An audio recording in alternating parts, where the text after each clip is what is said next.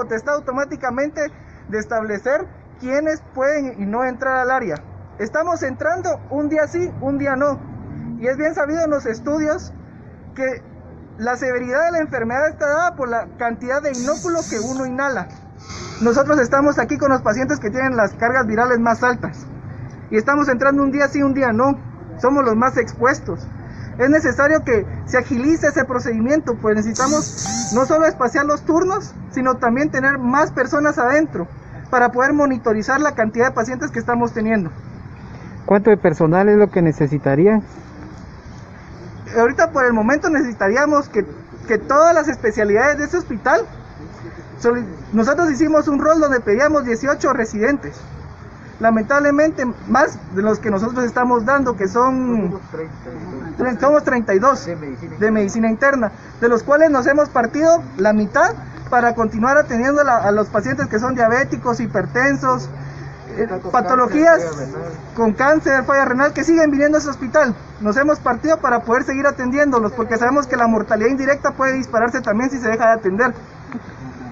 Pero al momento sí necesitaríamos por lo menos la solicitud que hizo nuestro jefe de departamento, el doctor Víctor Díaz, donde solicitó 18 residentes, que se nos mande para poder rotarlos junto a nosotros, para poder espaciar los turnos y poder tener mejor controlados los pacientes.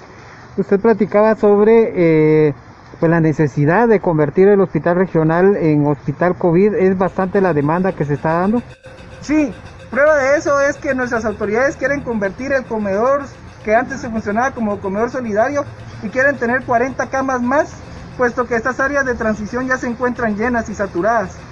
Entonces, si ni siquiera nos hemos organizado en el personal ahorita, por el momento, ¿cómo nos vamos a organizar para ir a tener 40 camas allá? Si ya somos insuficientes. ¿Cuántos médicos extranjeros son los que tienen acá en el hospital? Tres médicos extranjeros de medicina interna, más los médicos extranjeros que van a entrar de las otras especialidades. El doctor Giovanni había dicho de que se iba a incluir a ginecólogos y otras especialidades al área, a las áreas COVID. O sea, esto no se ha cumplido. Con respecto a eso, eh, queremos mencionar de que sí hemos recibido apoyo parcial de algunos departamentos.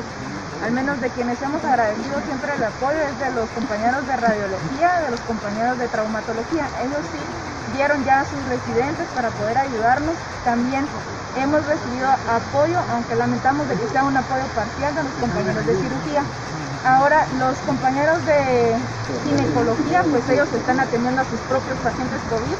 Los, eh, los compañeros de pediatría también ellos están atendiendo a sus propios pacientes COVID y solamente es un departamento el que no, el que se está negando a dar a sus residentes y por la negación a, a ayudarnos es de que también los demás compañeros se sienten decepcionados de no recibir el apoyo así como nosotros y por ende pues ya no, ya no quieren dar, el apoyo de aquí en adelante también si estos compañeros ya no entran. Entonces este, consideramos de que eh, esta es una pandemia que nos involucra a todos, a todos los especialistas del hospital y consideramos que todos deberíamos de estar dispuestos a, a ofrecer nuestra ayuda a este tipo de pacientes y lamentamos ahí sí que no se, no se haya obtenido una respuesta adecuada de parte de todos ellos y agradecemos también a los compañeros que sí han dado apoyo con nosotros.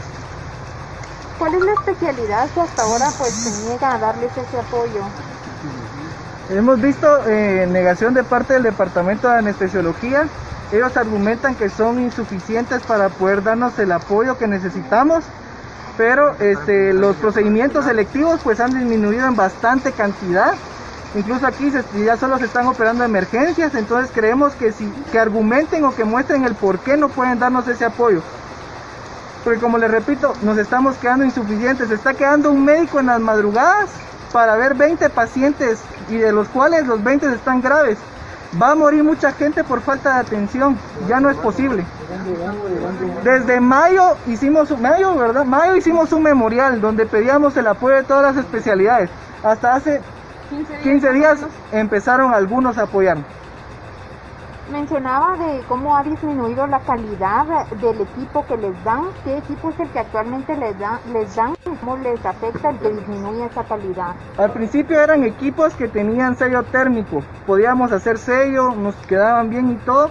Ahora hemos visto que han hecho trajes de propileno donde los zipper a veces se quedan trabados, no cierran de manera adecuada.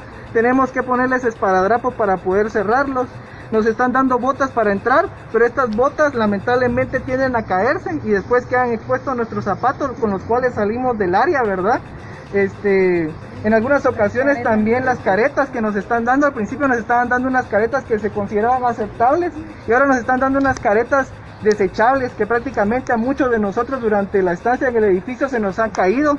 Los lentes que nos están dando de protección no son lentes como estos. Estos lentes yo los compré, así como todos han comprado sus mascarillas, porque dentro del hospital nos están dando KN95, pero dos a la semana y las cuales ni siquiera están autenticadas para uso médico, son de uso civil, o sea, no tienen resistencia a los fluidos.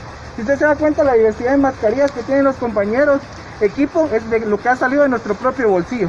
Así que solicitamos que por favor también tomen conciencia de esto. Que se mejore la calidad. Que se mejore la calidad más que todo. Gracias.